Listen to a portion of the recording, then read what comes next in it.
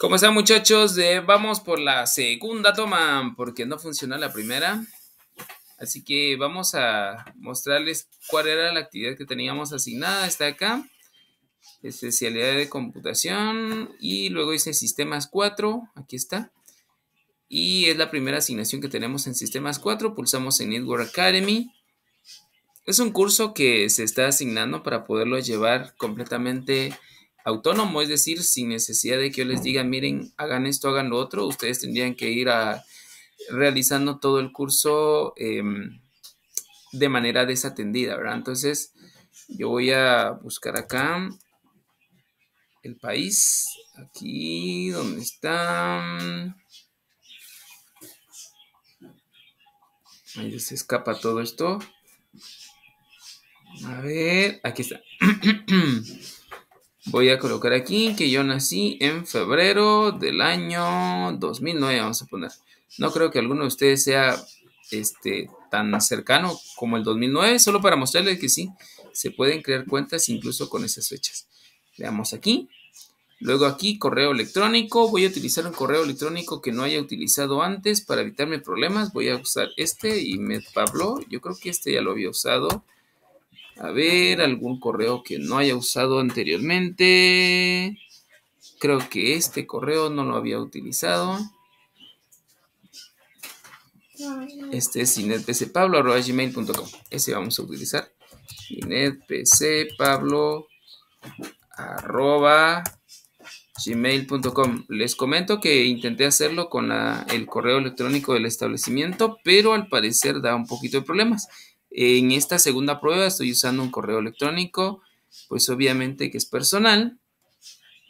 Y aquí una gran cuestión, ¿cuánto es 2 más 13? ¿Cuánto es 2 más 13? Nadie me sabe decir. Vamos a darle 15, a ver qué tal. Y le vamos a dar aquí en crear cuenta, ya verifiqué los datos, veamos que esté bien colocada nuestra dirección de correo electrónico, si no, no vamos a poder recibir notificaciones. Acá, si usted quiere, pulsa donde dice me gustaría recibir comunicaciones y actualizaciones. De lo contrario, no. Esto solo es para que le envíen un montón de correos. A veces se vuelve molesto, ¿verdad? Pero entonces, eso es a criterio personal. Pulsamos en crear cuenta. Y luego me pide confirmar em, el correo electrónico. Dice, em, gracias por inscribirte. Para comenzar, le enviamos un enlace por correo electrónico para activar su cuenta a inetpcpablo.gmail.com. Así que voy a ir a ese correo. Vamos a ingresar al Gmail de ese correo. Y aquí está, miren, ya está. Networking Academy. Sí, era por la cuestión de la cuenta, así que yo les recomiendo que utilicen una cuenta personal. Al parecer hay problemas con el dominio que usamos en el establecimiento. Ah, yo recuerdo que la vez pasada creamos un correo electrónico personal con ustedes. Eh, si tienen el acceso a esa cuenta, entonces utilícenlo. Si no, pues van a tener que crear un correo electrónico personal. Em, obviamente que puedan acceder a él para que puedan recibir este enlace. Dice comenzar. Dice consejos, este enlace tiene validez por un tiempo limitado. Si caduca, vaya a netacad.com, haga clic en iniciar sesión o reenviar correo electrónico de activación para obtener un nuevo enlace. Si no ve el eh, arriba el botón para activar la cuenta, copie el enlace, aquí está el enlace y péguelo en el navegador pero yo sí lo vi, así que le doy comenzar acá. Esto es para activar nuestra cuenta. Dice introduzca una contraseña nueva. Así que vamos a colocar una contraseña. Voy a colocar una contraseña que regularmente utilizo. Yo espero que no me dé problemas. Dice que debe llevar un símbolo. Híjole, tiene un montón de, condiciones. Yo creo que no, no va a dejar pasar debe llevar al menos 12 caracteres, una letra minúscula, una letra mayúscula, un número, un símbolo, ninguna parte de su nombre de usuario, no puede repetir ninguna de sus últimas 8 contraseñas y debe haber eh, transcurrido por lo menos una hora desde la última vez que cambió su contraseña. ¿Sí? Son algunas cosas que pide. La verdad es que está un poco pesado ahorita, así que voy a colocar una nueva.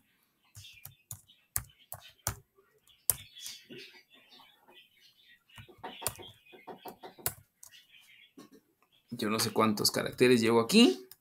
2, 3, 4, 5, 6, 7, 8, 9, 10. Me faltan dos. Eh, Vamos a colocar este y vamos a colocar este. Yo creo que ahí sí me va a dejar pasar.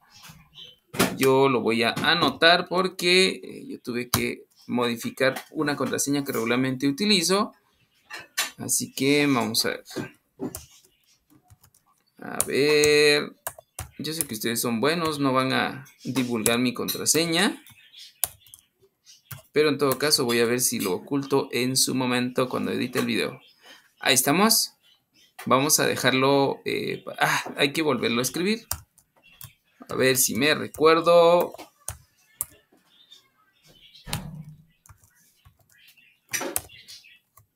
Ahí está. Le damos crear mi cuenta. Nunca. Yo prefiero que no se recuerden mis contraseñas. Dice mantenimiento planificado de skillsroll.com eh, el 27 de octubre de 2023. Procuren eh, completar su curso antes de la fecha 27 de octubre. La asignación está dada para el 31 de octubre, pero yo no eh, me había percatado de este inconveniente con la, la página, toda la plataforma de Net, NetAcad. Entonces, por favor, eh, tomen en consideración el 27 de octubre, antes del 27 de octubre tendrían que entregar el curso completo. Aquí ya están mis datos, me aparecen ya los datos que yo había ingresado, que yo em, nací en, el, en febrero del 2009 y luego dice acepto proporcionar más información sobre mí. Podríamos agregar más información todavía. Eh, tiene una discapacidad, este, pues yo colocaría que no. Eh, género, si no están seguros, le damos aquí en prefiero no contestar, yo lo dejo así, masculino. ¿Cuál es su experiencia práctica de ti y en redes y ciberseguridad? Em, digamos que en el caso mío, más de cinco años, en el caso de ustedes pueden contestar lo que ustedes consideren. Me gustaría recibir comunicaciones y actualizaciones sobre el programa. Eh, eso es opcional, si quiero sí, si quiero no. Em, con relación a esto, si yo puedo dejar en ninguna, no hay ningún problema. Este curso no tiene ninguna, em, ningún requerimiento previo, es decir, puede hacerlo cualquier persona. Sencillamente es de tener una edad comprendida en 2009 hacia atrás. Entonces le damos aquí en completar el perfil. Y luego dice, estoy aprendiendo cursos en los que está inscrito. Aquí me aparece Get Connected, español 1023. Me vieron raro el, el nombre, ¿verdad? Y luego me aparece aquí en iniciar curso. Comienzo acá.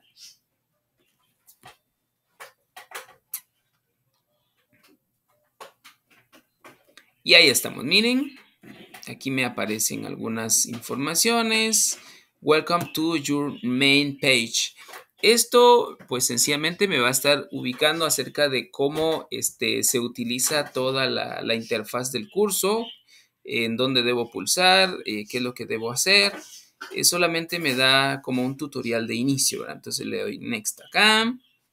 Me dice eh, que acá, vamos a ver, aquí es, yo puedo encontrar los diferentes links para poder ubicar recursos. Eh, le doy Next. En la parte de acá, pues es el Canvas donde está el área de contenido. Le doy Next. Acá me dice que em, son algunas actividades que están eh, asignadas o las actividades que en su momento tendría que realizar y las realizadas ya. Le doy en Next. Eh, algunos eventos que pudieran este, llevarse a cabo. Le doy en Next. Gracias. Acá dice repeat, this user tour. Si yo quiero repetir el tour, yo no lo voy a hacer, así que vamos a finalizar acá. Ahí estamos. Si ustedes se fijan, pues aquí está toda la, eh, todo el curso.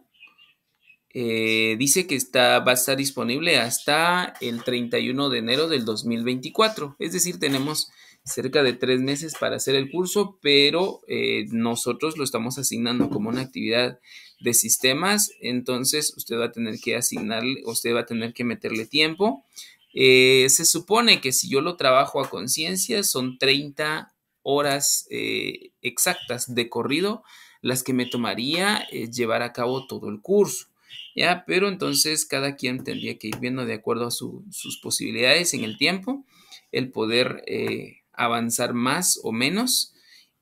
pero sí yo les suplicaría que de aquí al 27 pudiéramos irlo finalizando. Créanme que no se complica tanto una vez que ya nosotros estemos dentro del curso. Así que vamos a ver aquí, primera estación, nociones básicas de informática incomplete. ¿Eso qué significa? Que todavía no está incompleto. Así que vamos a ver acá. Aquí me aparece el tutorial.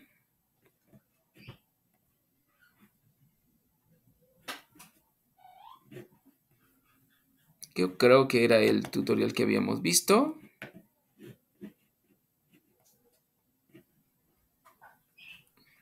aquí. Y aquí estamos. Le pulsé acá donde dice aprenda sobre nociones básicas de informática. Y aquí estamos ya dentro del curso. Aquí ya solo es cuestión de darle siguiente a la hora de que querramos avanzar. Estamos en la pantalla 13 de 207 pantallas que vamos a estar viendo. Y aquí me dice bienvenido a la primera estación. Aquí usted va a poder explorar los sistemas computacionales, tipos de computadoras, hardware, software, eh, periféricos de entrada, salida, tipos de elementos, hardware y software, sistemas operacionales, principales periféricos de entrada, cómo encender, abrir programas, apagar computadora, etc. Así es como vamos a ir viendo el curso.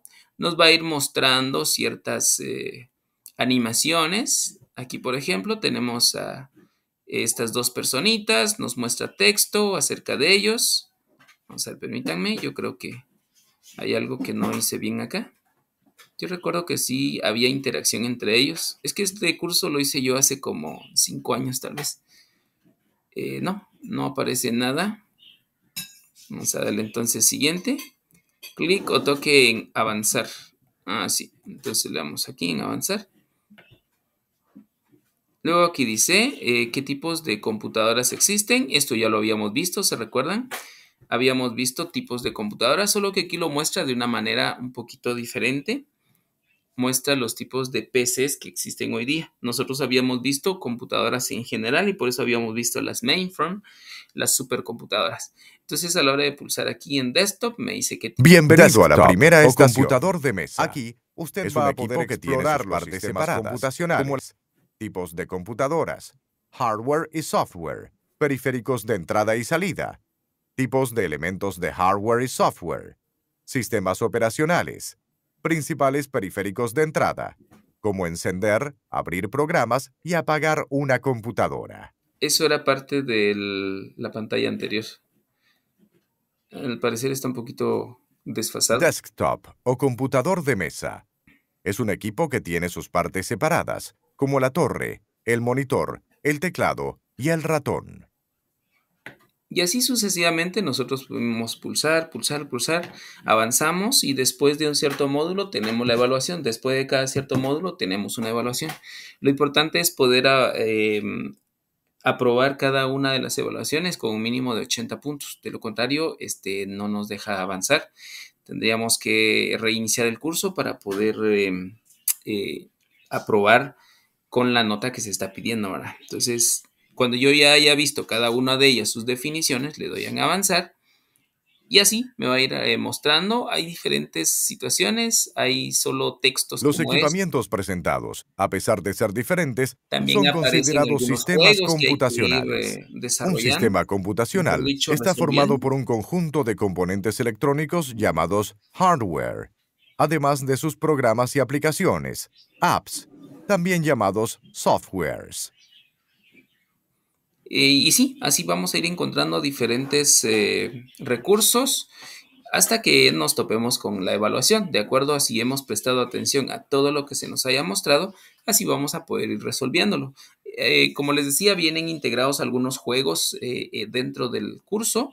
Es cuestión de irlos em, resolviendo, ¿verdad? Son como pequeños, ¿cómo les digo yo? Em,